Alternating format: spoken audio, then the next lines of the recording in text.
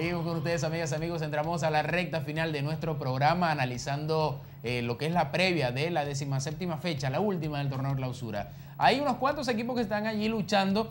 No solamente es el descenso, hay otros que también quieren meterse en esa liguilla pre-sudamericana. Muchas ganas de estar allí, trujillanos, yaracuyanos, monagas, el conjunto de Táchira también allí luchando. Tiene una posibilidad, aunque remota. Sí, pero, pero, bueno, está la posibilidad. Bueno, hablábamos justamente de eso hace un ratito, ¿no? El hecho de que el Club Deportivo Táchira no, eh, hay que, depende prácticamente de un milagro, no solamente le debe ganar a Llanero, sino que debería ganarle seis goles por cero. que todos los demás pierdan. Sabemos que el equipo de Miguel Acosta no está acostumbrado a recibir estas goleadas, ganó su último partido un gol por cero, se convirtió en la piedra del zapato para muchos de los equipos que hoy nos están titulando y bueno, va a ser muy difícil porque además se le debería dar una combinación de resultados en otras plazas. Monagas y Trujillano se la juegan también, Andreina, se verán las caras en Maturín eh, dos equipos que Trujillano es un equipo que no ha tenido para nada una buena temporada. Eh, por otro lado, Monagas ha sido un equipo ni muy, muy ni tanta.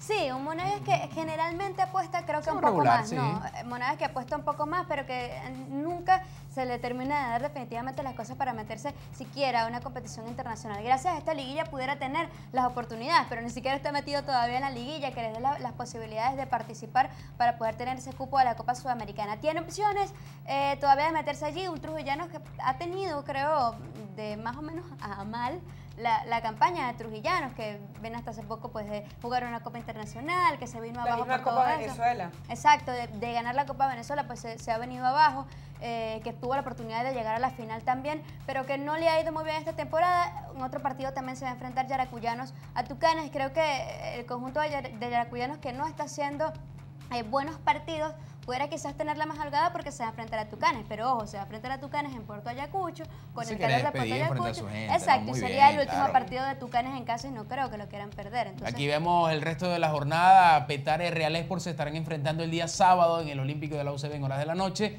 Vigía Caracas, Táchira Llaneros. Les comentamos también, les reiteramos que Zulia y Mineros va a ser a las 3 y 30 de la tarde en el José Encarnación Pachencho Romero. Esa es la tabla de la jornada 17. Ahora vamos a ver la tabla acumulada de la temporada de la mitad hacia abajo para que cada uno de ustedes pueda estar analizando las posibles combinaciones. son muchísimas las combinaciones porque no solamente son los puntos, sino también los enfrentamientos directos, los goles a favor, goles en contra, el averaje de goles que lo vamos a ver a continuación. Cómo está esa tabla allí de la mitad hacia abajo en nuestra temporada 2011-2012 del fútbol profesional venezolano. Ahí está.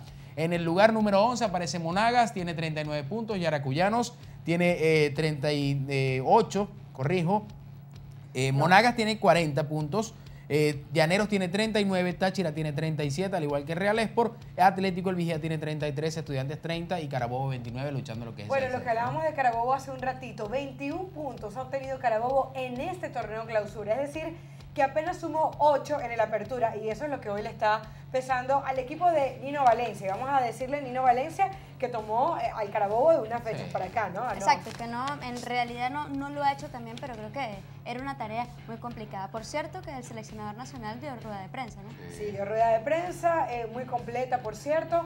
Eh, Dos horas. Obviamente hay que decir que en la lista de, de convocados que están no es la definitiva, solamente para el partido contra Moldavia, pero por ejemplo se empiezan a asomar algunos temas, como por ejemplo el hecho de que vuelva a ser llamado Gabriel Cícero como lateral izquierdo de la selección nacional, y además tenemos que felicitar desde aquí a Rafael Dudamel, quien ha sido eh, escogido como el nuevo director técnico de la Vinotinto Sub-17. Sí, Rafael que, bueno, recordemos estuvo también con el conjunto de estudiantes de Mérida y finalmente pues fue designado y además anunciado en rueda de prensa, como lo dice Caro, como seleccionador de esa, eh, la, selección sub-17 de Venezuela. La Vinotinto que además ha dado un itinerario para lo que serán esos partidos, las, las concentraciones, cómo se estarán llevando a cabo a partir del 16 para enfrentarse a Moldavia, posteriormente viajar a Argentina, prepararse para irse a Uruguay.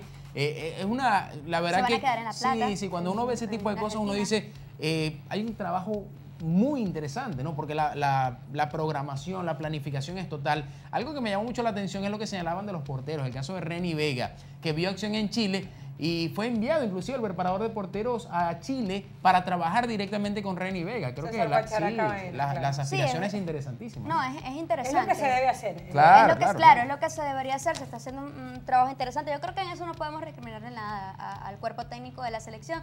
De hecho, cuando Farías analizaba lo que era Uruguay, que decía que era la mejor selección de América, con lo cual, bueno, estoy totalmente de acuerdo, el tridente en ataque que tiene, que es temible, decía que igual habían analizado la cancha del Centenario de Montevideo y que no estaba quizás en una tan buena calidad como para hacer un muy buen fútbol, lo que le perjudicaría más al local que al visitante, una Venezuela que seguramente va a ir a cuidar mucho su arco y lo haría con René Vega sin duda alguna, por todas las cosas además que dijo ayer César Farías, que ya tomó la titularidad del cabezón, como él mismo lo llamó, y que espera que, la tome y que no la suelte nunca, un equipo importante como Colo Colo. ¿no? no, y hay que decir también que del campeón algunos esperaban que llamara, por ejemplo, una Nalideskin eh, como uno de los arqueros.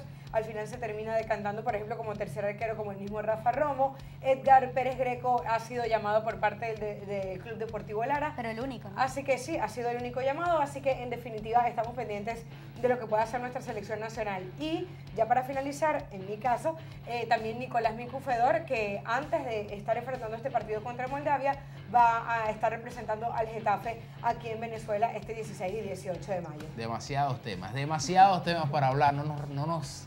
No queda tiempo, no alcanza el tiempo. Pero, bueno, las cámaras se apagan y nosotros seguimos, seguimos hablando. Señores, gracias por compartir con nosotros una nueva edición de Edición Fútbol, Pasión por lo Nuestro a través de Atel Americana de Televisión. Que estén bien, chao. Atel Televisión, Frenos Irazuca. Las canchitas donde la estrella eres tú. Distribuciones JBL. Viajes Todo Fútbol, Turismo Vino Tinto. Presentaron.